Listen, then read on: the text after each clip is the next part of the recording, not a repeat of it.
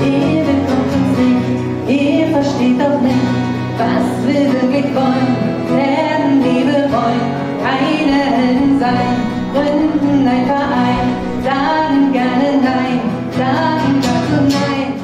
Wenngleich der Titel wohl wegen des Willkommen für den Beginn des Neujahrsempfangs der Stadt Lugau gewählt wurde und das Original von Rosenstolz eher eine große Diversität der Menschheit beschreibt, passt es doch irgendwie trotzdem in die lebendige Kleinstadt. Geografisch noch nicht wirklich Erzgebirge, aber auch nicht die räumliche oder soziologische Fortführung der Großstadt Chemnitz ist Lugau eigen. An manchen Dingen gescheitert, wie der Bewerbung zur Landesgartenschau, hat sie trotzdem eine grüne Stadtmitte bekommen. Nicht viel gibt es zu bereuen in den letzten Jahren und Jahrzehnten. Keine Schublade findet sich, in die die Stadt hineinpasst. Willkommen in Lugau. Hier gibt es einen Bahnhof ohne Gleisanschluss, aber Eisenbahnfreunde. In diesem für gute drei Millionen frisch sanierten Bahnhofsgebäude sollten sie am 13. Januar noch eine Rolle spielen. Diesen Neujahrsempfang hier in Lugau, den gibt es ja noch gar nicht so lange. Nämlich äh, 2019 haben wir das äh, einmal begonnen.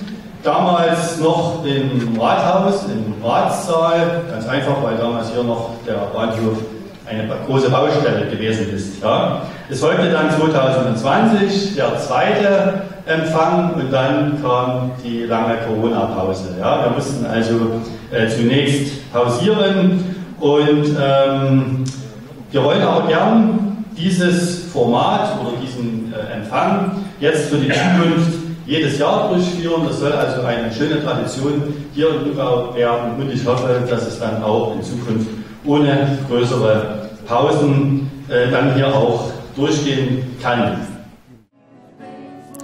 Den Fokus im aktuellen Jahr hatte die Stadt auf die Vereine und Verbände gelegt. Das werde aber variieren, sagte das Stadtoberhaupt gleich zu Beginn, denn auch im Bahnhof ist der Platz nicht unbegrenzt. Bei 250 Personen ist Schluss. Mehr als im Ratssaal, aber doch zu wenig, um immer alle einzuladen. Möglicherweise verschiebe sich der Fokus im kommenden Jahr auf die Wirtschaft, so Weikert. Seine Wertschätzung gelte aber jederzeit allen. Die Stadt ist weltoffen, so scheut Thomas Weikert auch nicht den Blick über den Tellerrand. Mit der Eskalation des Ukraine-Konfliktes brachen eine neue Krisensituation über uns herein. Die nun ausgerufenen Sanktionsmaßnahmen gegen Russland führten zur Verschärfung der Inflation und zu enormen Preissteigerungen. Dazu, dazu ein Strom an flüchtenden Menschen, von denen viele auch in Deutschland und nicht zuletzt auch hier in Luga angekommen sind. Bis heute sind diese Auswirkungen zu spüren. Sie spüren das im privaten oder im geschäftlichen und so auch wir in der Stadtverwaltung mit Blick auf die Sicherstellung unserer zahlreichen Aufgaben. Die Silvesternacht in Berlin mit Angriffen auf Feuerwehren, Rettungsdienste oder die Polizei macht uns fassungslos. Der Tod des emeritierten Papstes Benedikt, Ab das Ableben von Queen Elisabeth II. oder das des Fußballidols Pelé macht uns traurig. Eine Fußball-WM im europäischen Winter war ungewohnt. Der Titel für Argentinien und Messi, denke ich, war aber verdient. Klimaaktivisten wollten uns mit spektakulären Kleberaktionen auf den Klimawandel aufmerksam machen. Solche Aktionen brauche es hier nicht, denn in der Stadt werde sich einfach engagiert, oft im Stillen. Das Wichtigste an diesem Abend daher auch die Auszeichnung verdienter Einwohner. Brigitte Rönsch erhielt gesundheitsbedingt in Abwesenheit einen Eintrag ins Ehrenbuch der Stadt, wie auch Sibylle Kempter, die gute, treibende und engagierte Seele in der Volkssolidarität. Ein weiterer Eintrag wurde einem Trainer-Urgestein gewidmet.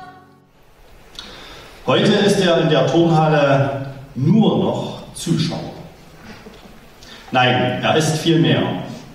Er ist die graue Eminenz. Alle achten ihn, alle schätzen ihn und beim Turnverein Luger wird er immer einen Ehrenplatz erhalten. Gemeint ist Henry Straube, der das Turnen in der Stadt und weit darüber hinaus gefördert hat. Und ebenfalls geehrt wurde Sebastian Jung, der den Lugauer Eisenbahnfreunden vorsteht, das Schrankenwärterhaus in Schuss hält und das Andenken an die einstige Kohlebahn zwischen Wüstenbrand, Lugau und Oelsnitz erhält. Nur selten wird die Ehrenmedaille der Stadt verliehen. Der zuletzt Geehrte ist der Dritte, der sie bekommt. Für seine großen Verdienste zum Wohle und zur positiven Entwicklung von Lugau hat der Stadtrat für die Eintragung ins Ehrenbuch und die Verleihung der Ehrenmedaille der Stadt Lugau vorgeschlagen und beschlossen Herrn Rainer Unfried. Unfried war zunächst als Stadtrat, dann 1994 bis 2008 Bürgermeister in der Stadt. Mit dessen Ehrung endete auch der offizielle Teil des Empfangs.